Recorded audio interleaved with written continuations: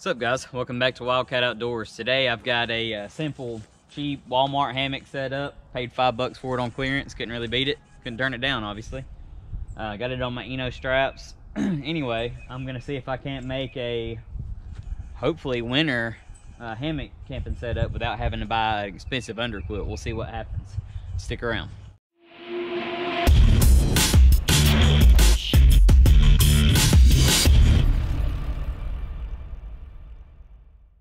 So one thing we're gonna try to use is the Arcturus Outdoor Gear uh, Emergency Survival All-Purpose Blanket.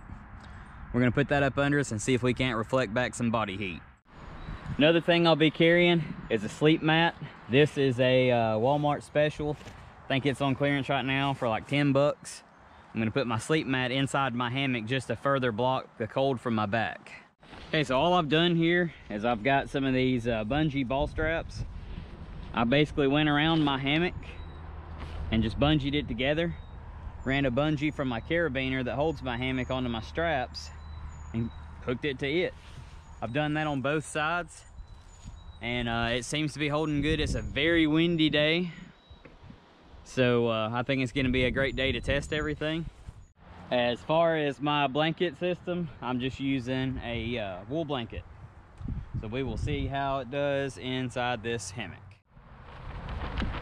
separate it and lay one side over so I can get in and wrap it around me. May be able to lay both sides over till I get in. Let's try that, laying both sides over.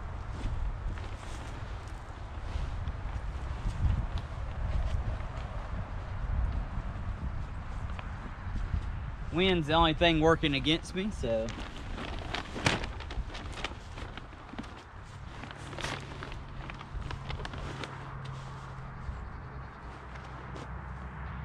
Is this the perfect setup? Probably not. Is it one of the cheapest? Probably so. Let's see what we got going here. I'd also mention it's about 40 degrees right now. So not too terribly cold, but cold enough.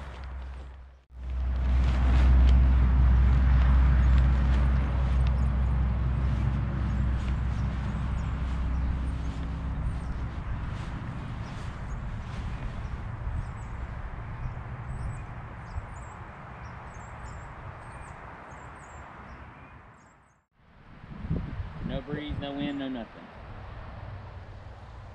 I figured I would feel it more through the top since it's kind of open.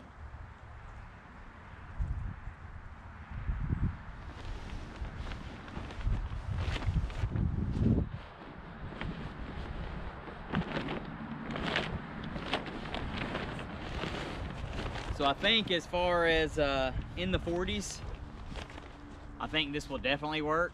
Um, I think if you've got a zero degree sleeping bag, I think you're gonna be able to get a lot colder out of this setup. As far as I'm concerned, this is a success. Get my boots back on. I will be testing this further, uh, either this weekend or next weekend. I'm gonna do an overnight in it. I may or may not record it. It just depends on uh, where I'm gonna be at and who I'm gonna be doing it with and all that good stuff. But uh, either way, I'll let you know. There will be, there will be an update.